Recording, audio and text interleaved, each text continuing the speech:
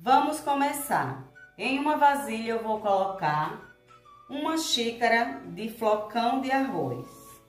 Vou colocar também uma pitadinha de sal. Misturar.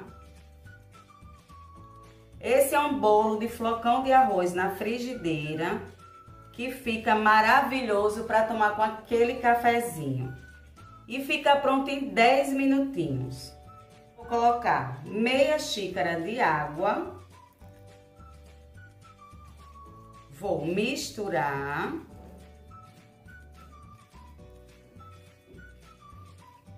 E vou deixar hidratar por 5 minutinhos. O meu flocão já hidratou. Olha, ele fica desse jeitinho aqui. Agora eu vou colocar dois ovos inteiros vou misturar. Esse é um bolo que não vai leite. Se vocês conhecem alguém que não pode ingerir leite, não pode estar tá consumindo leite, compartilhem essa receitinha.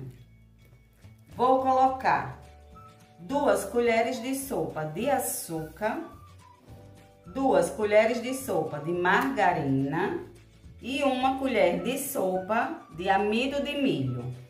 Vou misturar. No lugar da margarina, vocês podem estar colocando manteiga ou óleo. Sempre duas colheres. Por último, uma colher de chá de fermento para bolo. Vamos mexer bem rapidinho.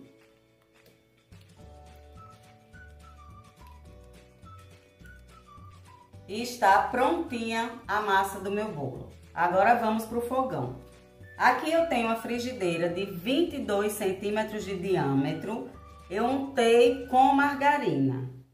Agora vou colocar a massa do meu bolo.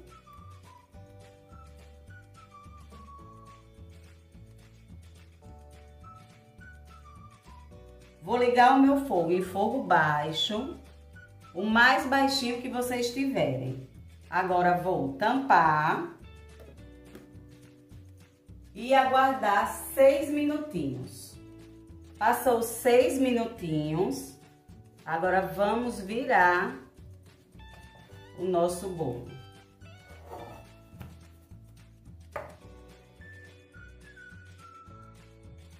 Agora vou tampar e aguardar mais quatro minutinhos.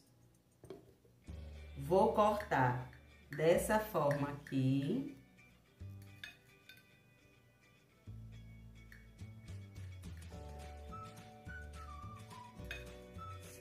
Para vocês verem bem direitinho.